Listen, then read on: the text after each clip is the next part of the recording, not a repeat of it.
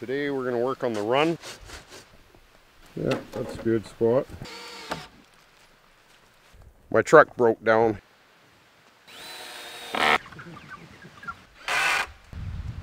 Trying to keep an eye on predators. It's just the weasels I worry about.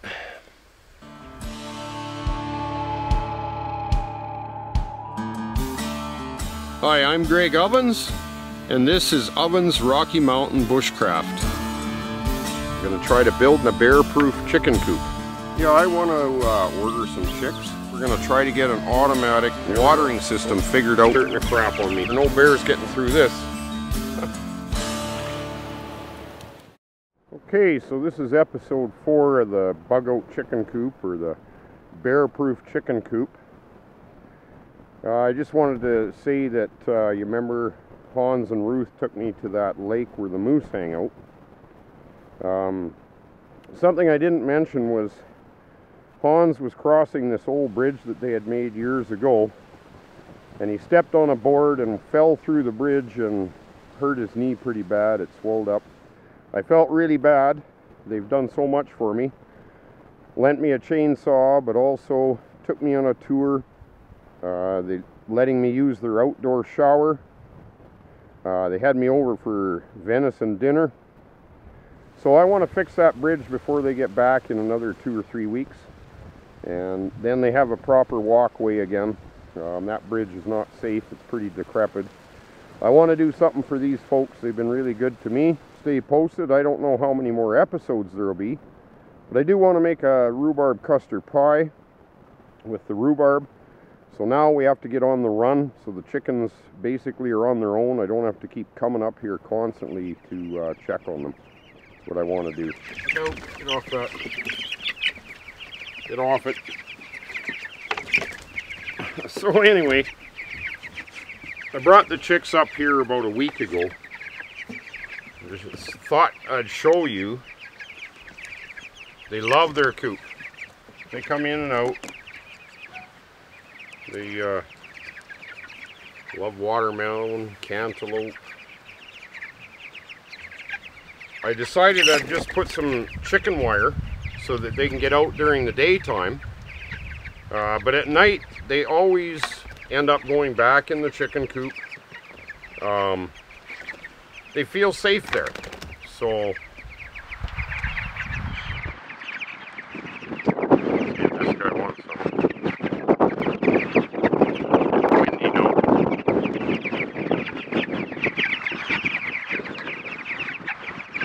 They home is, put it that way.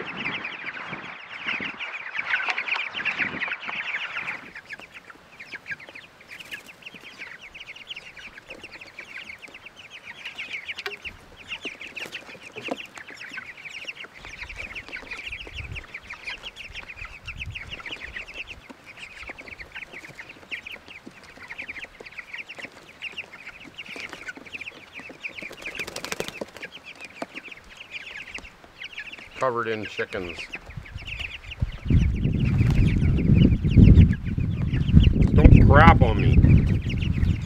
Funny thing is, if I make a distress call, they will head back in the coop. Try to see if they'll do it. You crapped on me, man. Nah, they like the cantaloupe better, I guess.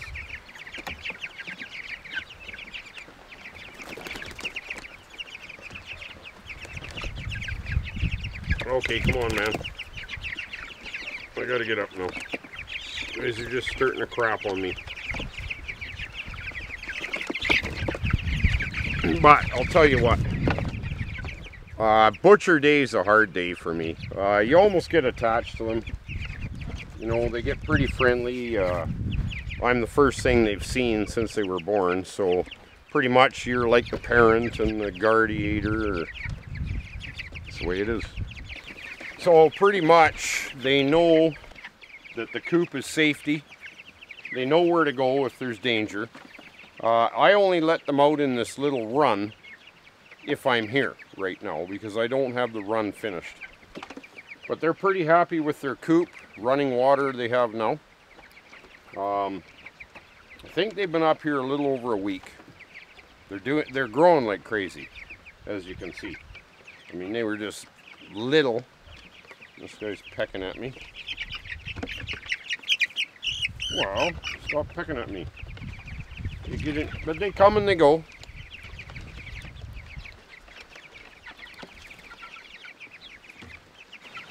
So I'm gonna get a fire going have something to eat. Um, it's getting dark soon. But anyways, I just wanted to say I've been camped up here with the chickens pretty much ever since I brought them up here except for one night. Uh, one night I left them on their own where I wasn't here. Uh, just trying to keep an eye on predators. I'm going to cook up some corn, get a fire going here, have some corn, and but what else? Chicken. Now these birds that you buy in the store, very small compared to how big these birds are going to get. These birds will go 15 to 18 pounds. This thing's, I don't know, three. So my birds are to, but don't tell the chickens this is what we're having. But anyway, uh, get my dinner going, keep another eye on them for another few days. Then they should be on their own so I can get out and get some more videos going. Uh, I'm dying to get out and just get some more videos going and this is really quite the project that I undertook here, believe it or not.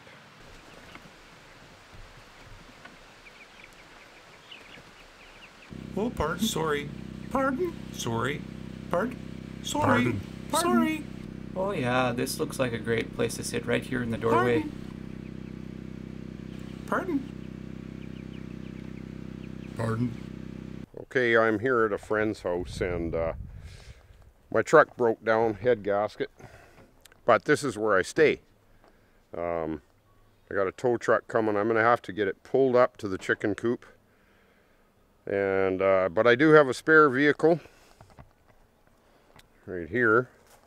So I put this on the road, my little Ford Ranger.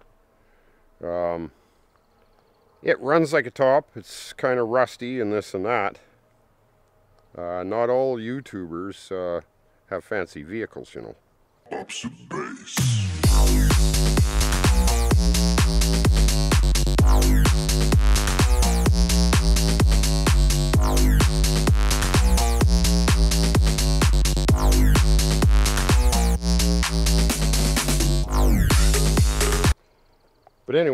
So I'll drive this. We'll tow the other truck. Because uh, I got to get up and see the chickens. It's been three days since the truck broke down and I haven't been back. They've been locked in the coop. And check on them. I brought them some treats, some corn, some watermelon. They love that stuff. And I still don't have the run done because I did injure my uh, arm. Apparently it was a pinched nerve. I just got back from the chiropractors. It's already feeling better. So hopefully I can get this run finished.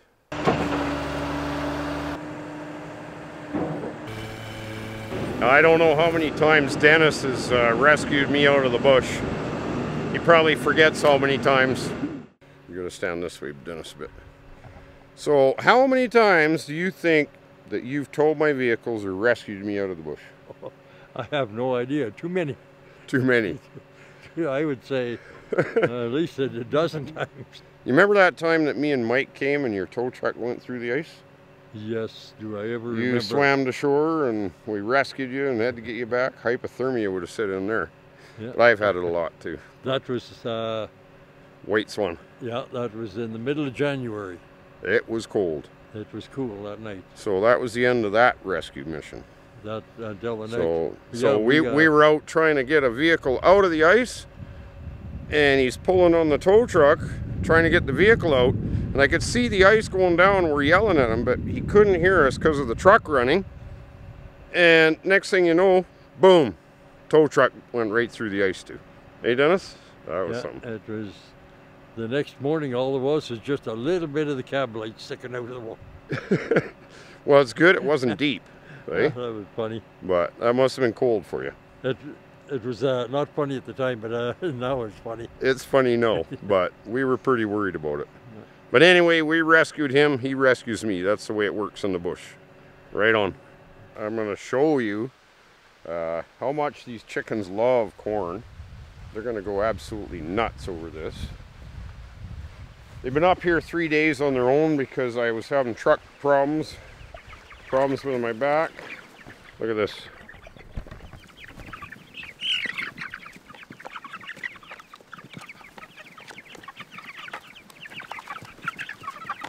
That corn is not going to last long. Give them some watermelon though. They love that too.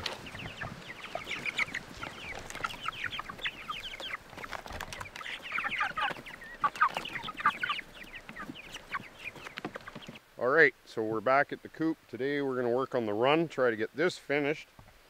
Well, if you want to, Blaine, grab that pole. I got some help today because my arm is still bugging me. Yeah, grab that pole and we'll get that in the ground.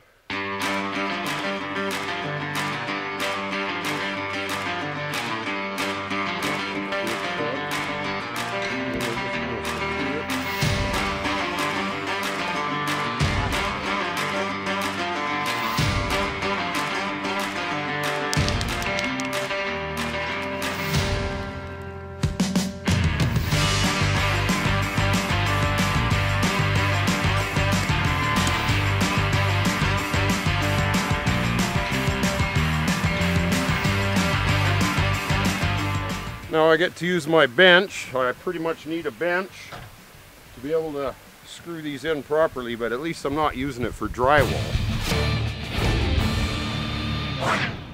Ah!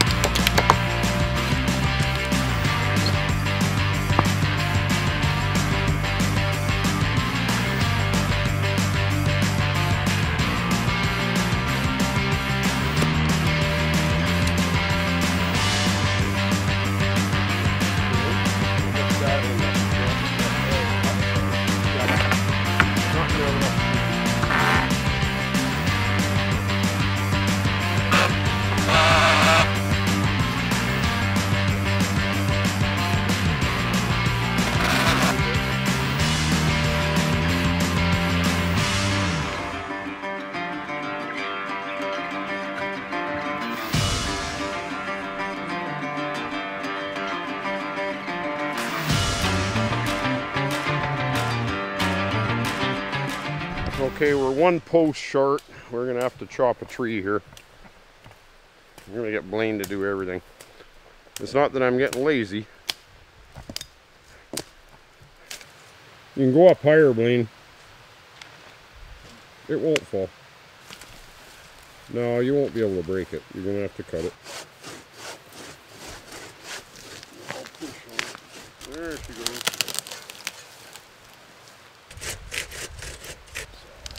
Should be able to push that off. okay, I just want to say uh, thanks to uh, Alex Rebar, Liberty Rogue Outdoors. Gave me this hatchet when I was in Maine visiting Zach. We're going to use it on some of the projects. I'm not very good with my one arm. Good enough.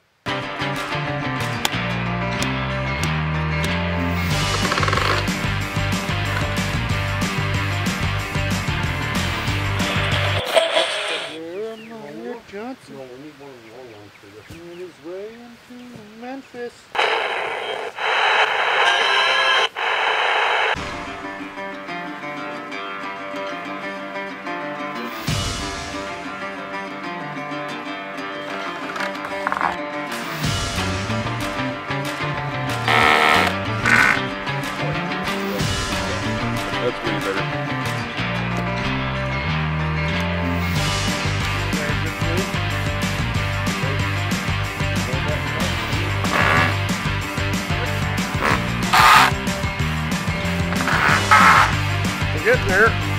One more run. Done. We're done. We got the frame done. Very well. If that is your custom, prepare to die. Oh,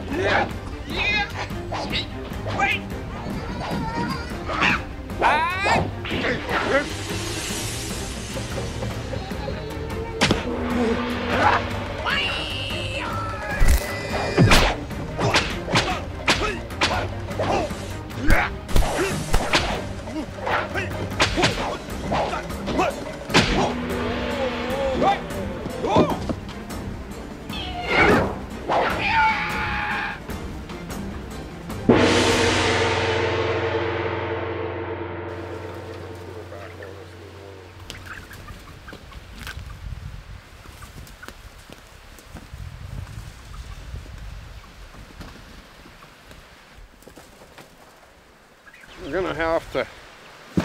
to stand it up this way. Oh yeah, it should go. Okay, I want to make sure it fits. Okay, now, see if it'll stay. It's gonna be a solid fence, boy. This game wire, no bears getting through this. It's just the weasels I worry about. Figure out what's gonna reach. Move that two by four. There you go. Okay.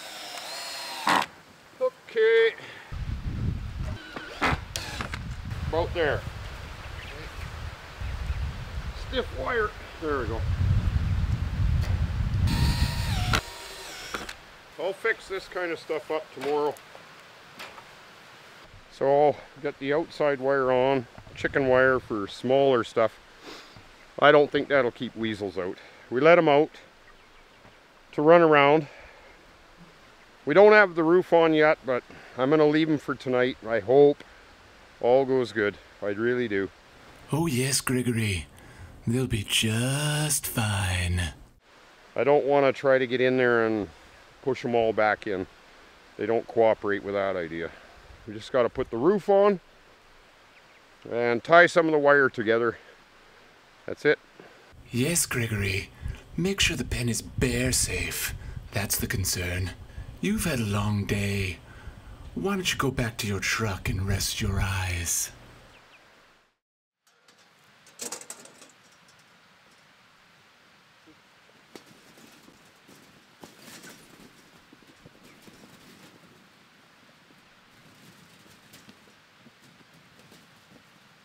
Okay, so I just have two runs on the roof, wire it all together, and they can be on their own. I'm telling you what, these chickens have, this is like running a daycare. They just take up so much time. I've been up here like just about every day for a month looking after them. They're sure going through the food too. Okay, so I uh, I finally have these chickens where they can be on their own for two, three days at a time, as long as I leave them food. But uh, they really love dandelions, and I saw something very interesting. I've never seen the likes of this. I'm going to tell you this little story about the chickens. Uh, they usually will fight over the food. I don't know, hopefully you can see they just will fight each other over the dandelions, cantaloupe, watermelon, whatever.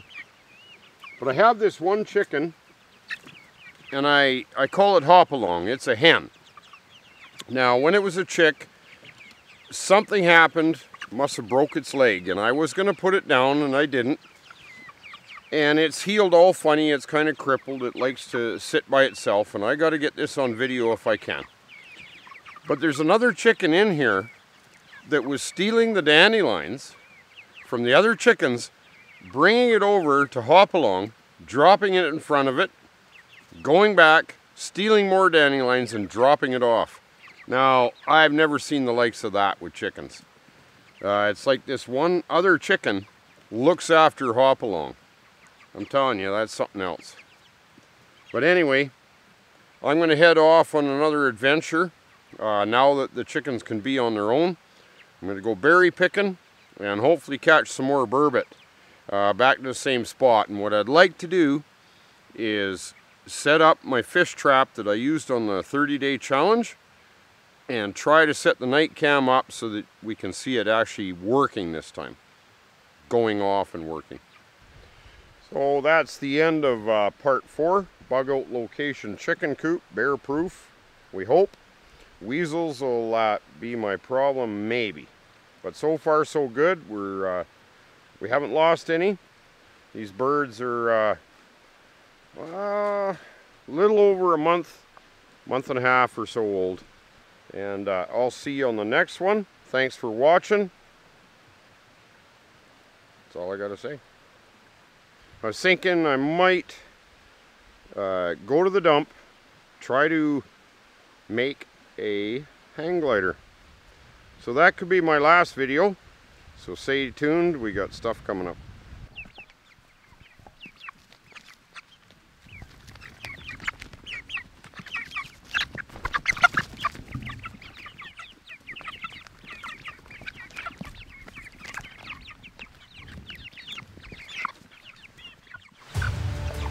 Got my first casualty. Uh, he is missing feathers on his neck and I hope this isn't the first sign of a weasel. So this is Hopalong. And we better put the seatbelt on you. They plug the trough up and then they flood themselves. And then I want to see what they do with a firecracker if I let it off. Forest fires are encroaching on Greg's chicken coop. Will he get there in time to save them? Or will they all be cooked?